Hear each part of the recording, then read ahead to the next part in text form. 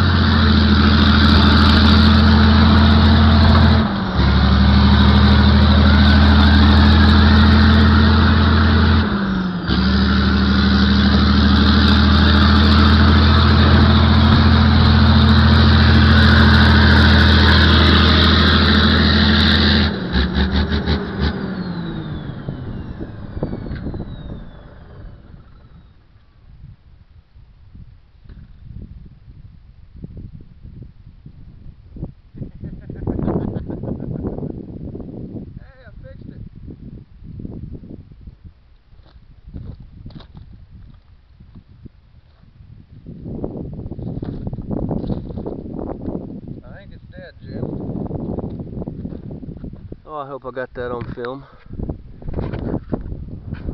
Don't trust this camera sometimes. Uh, it's flat. It'll get much flatter than that. Hey, look, the tach survived. Can you believe that shit? Wing! Wing! Ding, ding, ding, ding, ding. Still works. It's a good one. Hey, engine's turned a lot of RPMs. Oh, wait, it's broken. Never mind. Thing with a rope in it. Some different stuff. Thing does a really good job. I gotta say that. Ooh, this boat used to go fast.